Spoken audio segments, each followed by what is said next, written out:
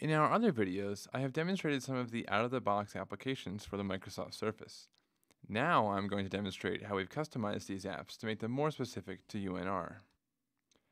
Here we've taken one of the default photo viewing applications and populated it with images related to university projects.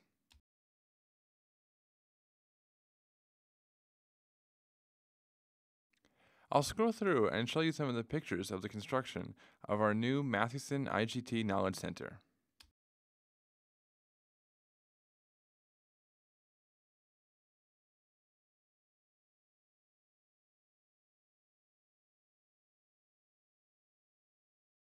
And now I can show you some pictures from another event we've had on campus.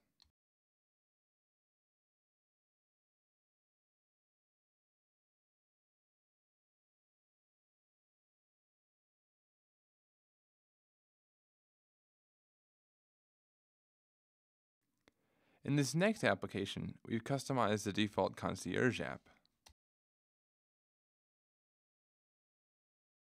We have a list here of all the various buildings on campus.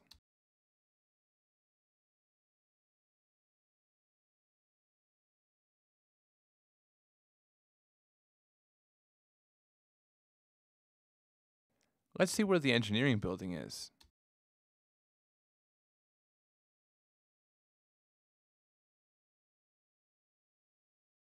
and you can see where we currently are.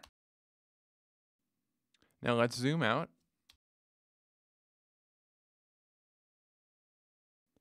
Here's the UNR campus.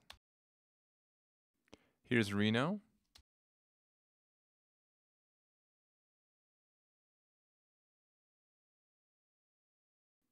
And of course, beautiful Lake Tahoe. Whenever we have groups of local K 12 students come by, they always enjoy opening this up and finding their house and then exploring the rest of the world. Thanks for watching. This has been Will Kurt at the University of Nevada, Reno's Mathewson IGT Knowledge Center.